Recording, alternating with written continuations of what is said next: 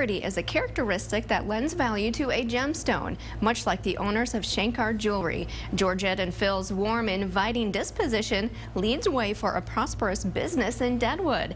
They make unique gemstone pieces as they themselves are one of a kind. They are this week's Faces in the Crowd.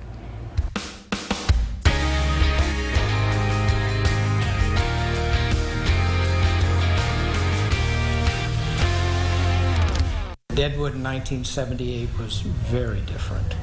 Uh, we had uh, um, a most uh, interesting clientele.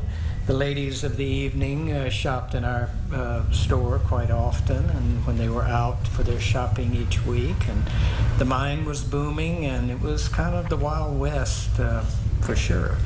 But it was quite uh, receptive to us, and we settled in and had a lovely little store.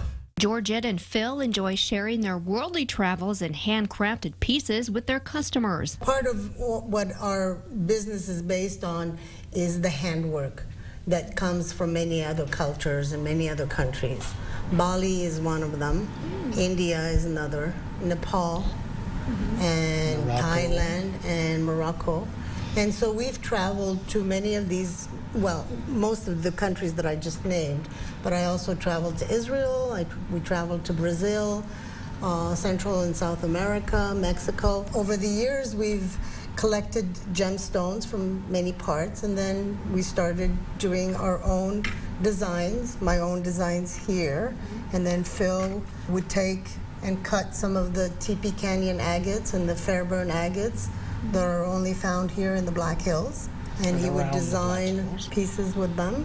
They want to maintain the art of handcrafted jewelry. So each piece is done around the gemstone, so it's only that one piece. They're signed pieces that are one of a kind and unique to the to the stone that I get. Customers from far and wide have been coming to Shankar's for 40 years. They aren't just customers to Georgette and Phil, but more like kin. We have gone through all, sometimes four generations of people because we had young people bringing their children and now they're bringing their children and their grandchildren to, to come and visit. They enjoy sharing their love for unique gemstones and exquisite jewelry. People enjoy the, the being different. And in the middle of Deadwood, in the middle of South Dakota, it's kind of a little, almost a little oasis of the other worlds. And it's been a privilege to share in a very unique time in Deadwood. First, the houses of ill repute and the mine and the cowboys, and now we've blossomed into a pretty amazing place. It's, uh, it's quite special, quite special. And they credit 40 years in business to dedication, persistence, and most of all, quality customer service.